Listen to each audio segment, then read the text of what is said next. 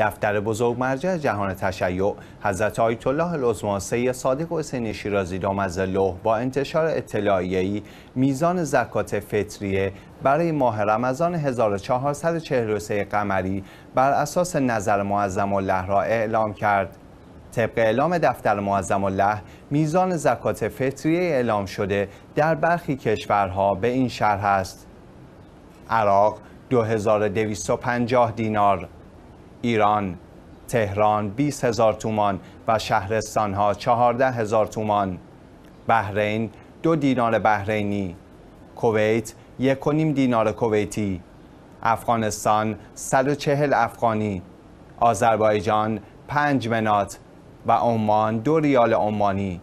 بینندگان عزیز می توانند برای اطلاع از میزان زکات فطریه در دیگر کشورها بر اساس نظر حضرت آیت الله العظما شیرازی دامزله به وبسایت رسمی دفتر معظم الله یا سایت خبرگزاری اخبار شیعه مراجعه کنند.